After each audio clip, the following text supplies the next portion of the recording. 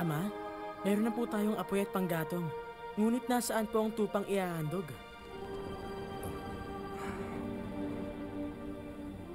Anak, ang Diyos na maglala ng tupa na ihahandog natin para sa Kanya.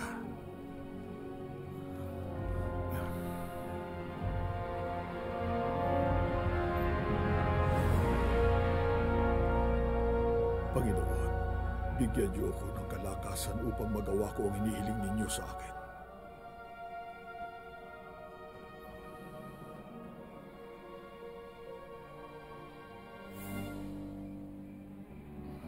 Okay, baka nga hindi dito.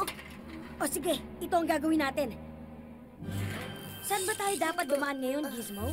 Uh, ah, doon? Kaya dito tayo dapat na dumaan. Oo, tama. Diyan nga dapat.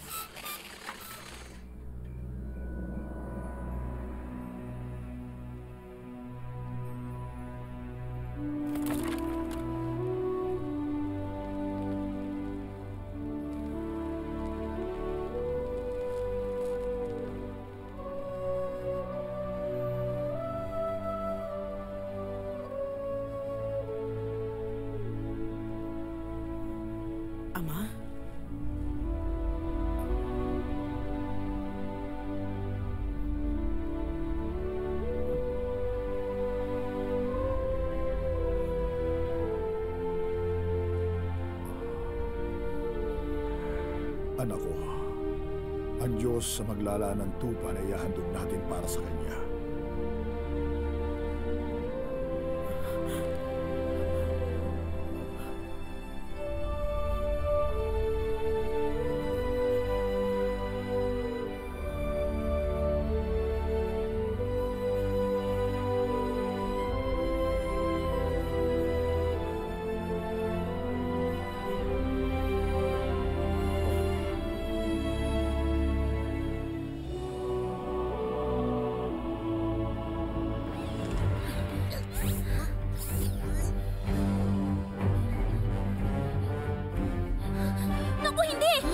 Dapat yata doon tayo sa kabila dumaan. Balik tayo, dali!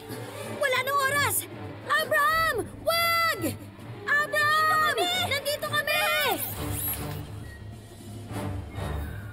Abram! Tigil! Masyado tayo malayo kaya hindi niya tayo marinig. Kahit di niya tayo marinig, ang mahalaga nakikita natin sila.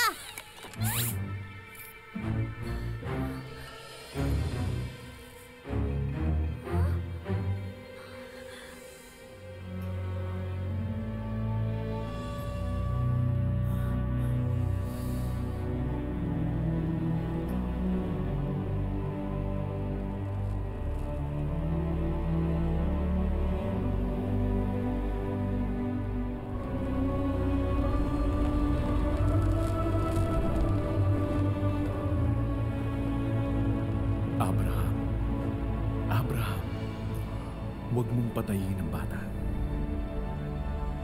Huwag mo siyang saktan. Natitiyak ko ngayong handa ka ng sumunod sa Diyos sapagkat hindi mo ipinagkait sa Kanya ang kaisa-isa mong anak. Ang Diyos ba yung kumakausap kay Abraham?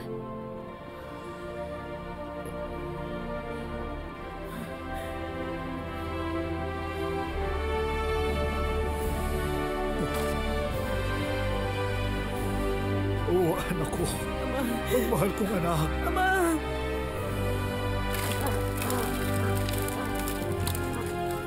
Isaac, kunin mo ang lalaking tupa. Iyon ang ihahandog natin para sa alay. Nagbigay ng pang-alay ang Panginoon. At sa pamamagitan ng iyong mga lahi, pagpapalain kong mga bansa sa mundo. Lahat ng iyon dahil sumunod ka sa akin.